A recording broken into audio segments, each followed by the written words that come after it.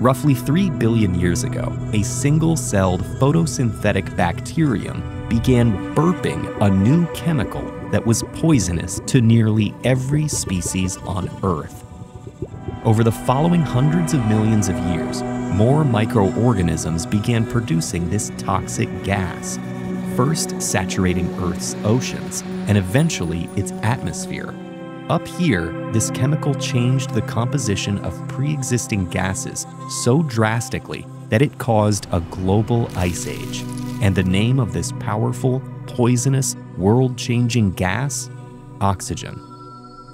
In the millions of years since the Great Oxygen Catastrophe, most life, including all multicellular organisms, have evolved to rely on this gas.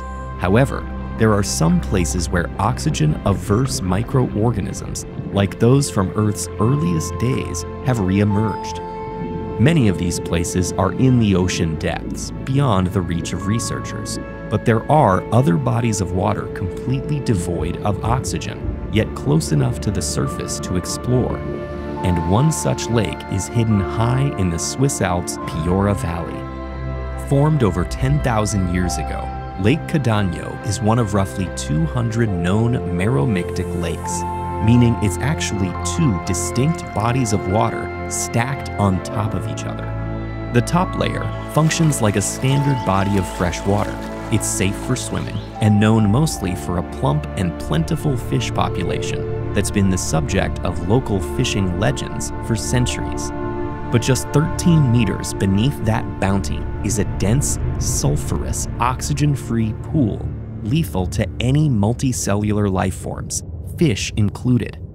In a typical lake, the entire body of water would gradually mix, diffusing oxygen from the surface throughout.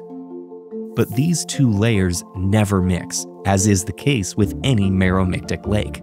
And the reason for this divide in Cadagno is the water's unique chemical compositions. Both layers are fed by rainwater flowing down the mountains. However, this water can take two paths.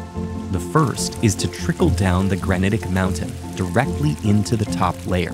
The second is to seep into the Piora Valley's vein of dolomite, a porous rock full of salts such as sulfate rainwater that sinks into the dolomite will slowly inch towards the lake, all the while shedding its oxygen and picking up salts.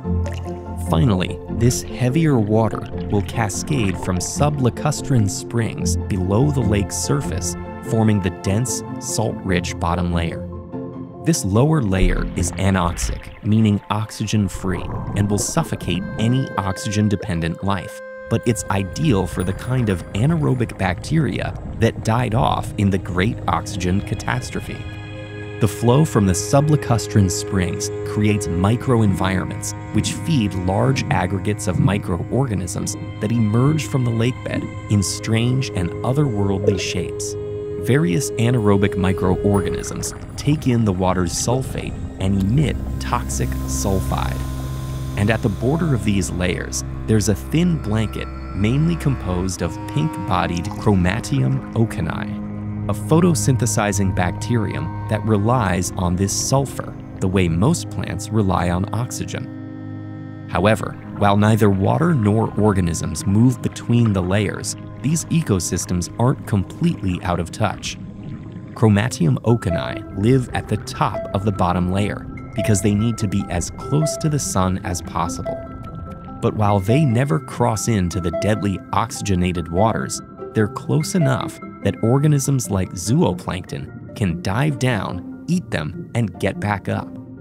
In fact, this relationship forms the bottom of the upper layer's robust food chain, supporting the lake's legendary fish population. This unique ecology is more than just a boon for Cadagno's fishermen. Having access to an isolated anaerobic ecosystem allows scientists to model the world before the Great Oxygen Catastrophe.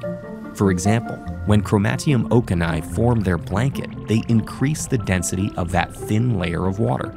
As the water sinks, these microorganisms are forced to swim back up, creating a minute mixing of water called bioconvection. This billions of years old phenomenon might be a clue to how early life evolved the ability to swim. And it's just one of the many insights that await researchers studying Cadagno's mysterious depths. Did you know that the largest river on Earth is actually in the sky? Explore the essential waterways known as flying rivers with this video. Or find out what makes the Great Lakes so, well, great with this video.